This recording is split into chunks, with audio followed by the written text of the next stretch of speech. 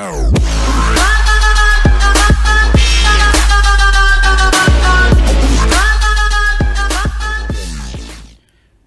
what's up YouTubers? It's Clickk Gaming here back with another video of Lineage 2 Revolution. Yeah, I've been haven't been on for past week and you know it's been really busy with work. Okay, today we're gonna touch up on soul crystals. There's been some questions asking for you know soul crystals and how do you effectively use them. So I mean I've been putting this off for quite a while, you know, I've been trying to find out ways how do I actually get the most effective soul crystals um, improvement. So here it is. Okay, one the first thing about soul crystals that you have to know is the stats actually do follow you through as you improve them. So let's say you want to get something that is um, increased crit damage rate. Okay, let me get an example. Something like this, an A grade increased crit damage rate. So as you upgrade them, it's very expensive.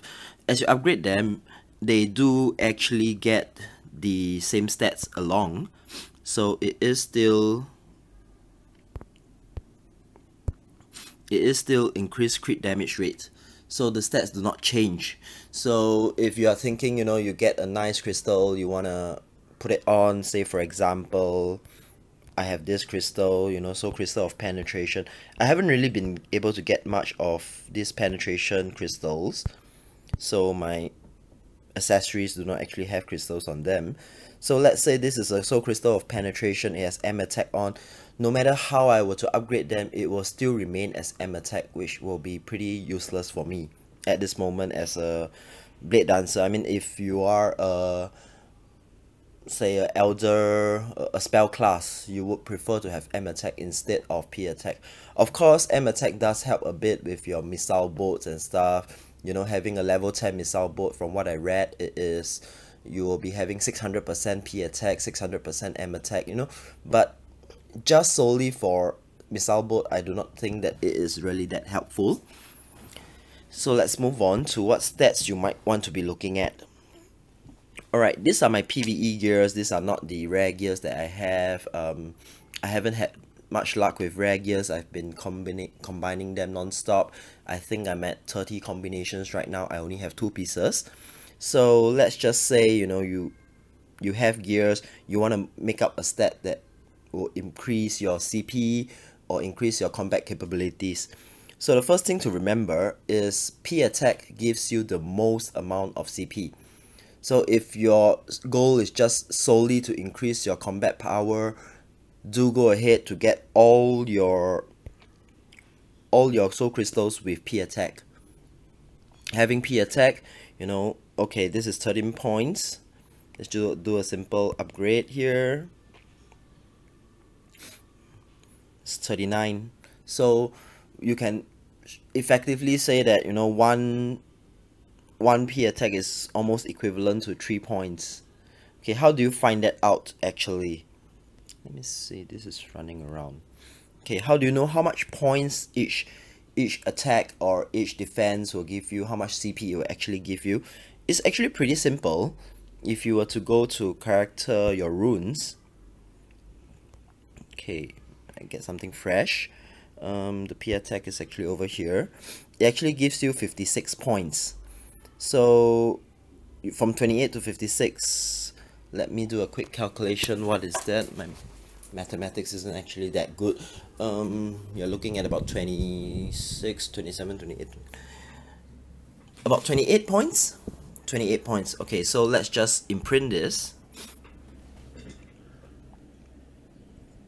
So that's 140 points of your I mean because they do give you P attack and M attack as well. So technically from just now what you have you do some division based on how many points you're getting and then you will know how much of uh, a CP you're increasing over there. Similarly if you want to find out you know how much penetration gives this is 35 you know you just do a simple imprint.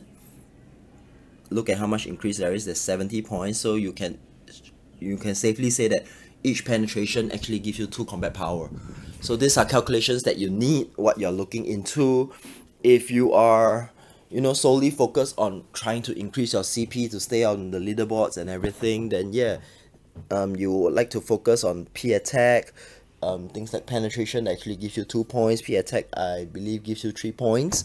So these are things that you want to look at. And let's get back to soul crystals. So right now, soul crystals, at this point, you know, I stored up quite a lot soul crystal, did quite a bit of testing, used up my Adena and all. So I found what I actually wanted to go about with this. Okay, people have been asking which stats are more important. It really depends on what you are doing, what you want to do.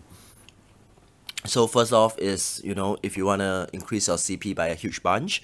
Secondly, if you want to be fighting, uh, if you're going to be fighting a lot, if I have my rare gears on, I probably will be going for crit resist and resilience and even some penetration for the extra damage. So these are things that you have to consider and each class is actually different. So right now I'm playing Blade Dancer pretty much as a burst class. I mean, I can't really sustain myself out there in the battle and everything. So, and my cooldown skills are, you know, at least 20 seconds. So having auto attack actually doesn't really help much at this moment. I mean, unless you're way overpowered um, over your opponent and things like that. But if you're just talking about being on even level i mean you guys can try it out in arena you can auto attack the guy and you know it, it really doesn't help much because the damage isn't really that huge so you would like to you know be more into defense so some people you know they like to do the auto equip button and you know all this. I, I do have r level r grade soul crystals out here. Uh, this is for hp regen. This is for crit resist. So this crit resist is definitely going somewhere. Um, I'm hoping to actually put it into my my rare gears which I haven't managed to have the time to push it up. So this R crystal is definitely going inside there. So right now I'm just gonna keep it for a little while and you know work on my my PvE gears first and see what I can get. Um, I do not know when they're gonna release more content or raise the level cap but you know you want to be prepared for that at, at, at this moment. So I mean you have the basic color to color matchings and everything like that. You do have your S gears. You know I am moving on a little bit into increasing my P attack basically and as well as a bit of crit damage because I presume that these PvE gears are gonna keep me in you know at least in the PvE section of it um, for core farming, for elite farming, hunting, blood farming, and all this kind. So having all this, you know, I'm built towards that level. Right now, I can't really fight much people that are really like way above my level, or I mean, not level, way above my CP, or I mean, even similarly close, you know, I can fight them, but it really takes out a lot of time and effort to actually kite them and, you know, burst down them with skills. So my gears are really focused on increasing my P attack, increasing my damage out in the field as well. I do have some defensive skill in resilience, crit resist, P defense. So I'm not trying to you know just dump everything in and see which one bring actually brings my CP the highest. I'm not someone like that. I actually prefer to keep the more effective rate into it. You know, all my purple crystals, I'm trying to keep it to P attack you know my orange I'm trying to keep it to crit damage increase rate I mean as along as as, as much as I try to get it um, sometimes you don't I do have a S grade which is max MP doesn't really help me at this moment. I don't find myself having problems with MP regen. So all this I will be keeping it for my leveling up of my soul crystals. So you do notice I do put a star next to some even C grades. All these C grades are actually what I want to use them for, like this P attack, this C grade for resilience. So putting a star next to them, you know, you, you just actually ensure that you do not use them in leveling up your soul crystals. Okay, let's just find something to level up right now. Um, you know what, let's just go with this. Okay, level up. I mean, it's pretty simple, you know, you do auto select, but the two secrets that I have they are pretty much what I want to keep so I'm not gonna use them let's go off to B you need about 11 or 12 Bs to actually push an A grade up to level um, to level 5 so yeah let's just see what is there any stars along them? Yep this one. So let's get this. Let's level this up. You know it's gonna get pretty costly if you were to look at it in you know in the future. Um, pushing everything up to S grade C grade I mean it, it does help your your stats a lot it does help your CP a lot but you know it does drain a lot of Adena from this leveling. I feel that it's even worse than your gears because basically you are only putting on about 10 pieces of gears but each piece of gear you know you're looking at about five runes if they are at SR five soul crystals. So yeah for each one to get from A to S is already 50,000 so that's about 250,000 of gold.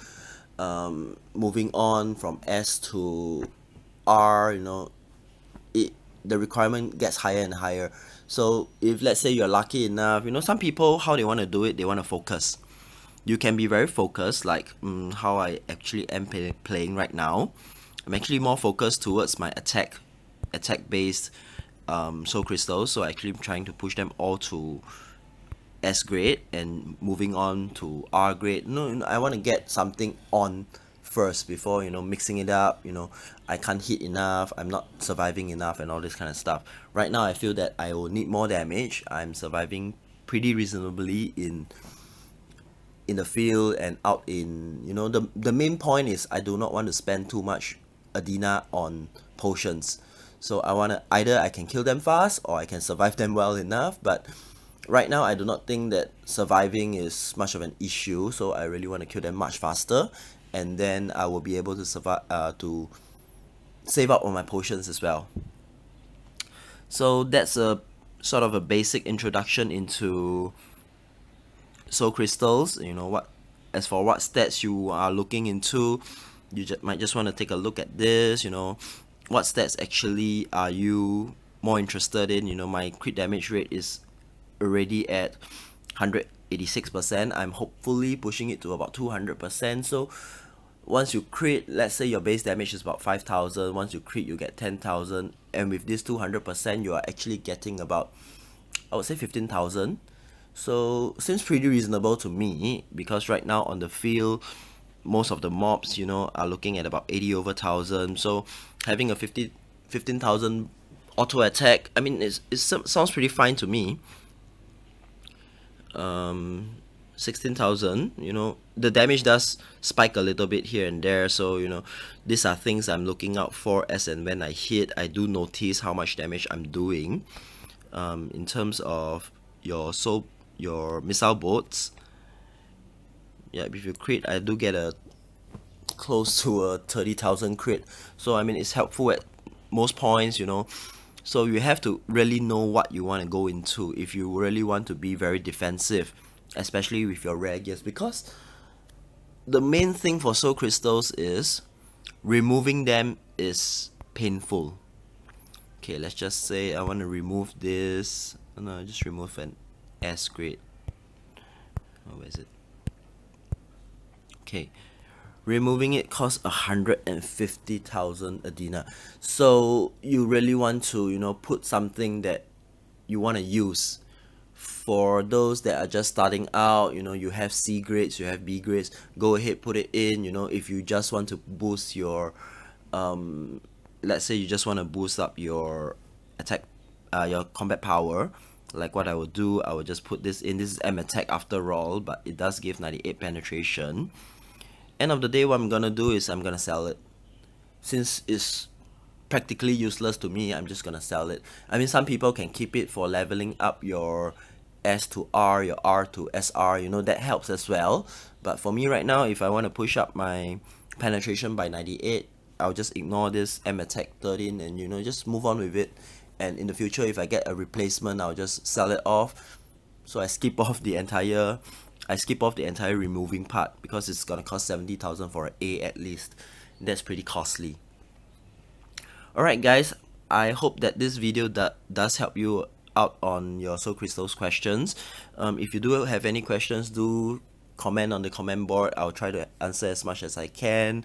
Um, don't worry guys. You know even if it's been two or three days you know i will try to reply as soon as i can because i do have a day job and it's killing me sometimes. So alright i hope all this helps you out and peace out. If you like the video do drop a like and subscribe. Thank you everyone for the support so far. I will see you again soon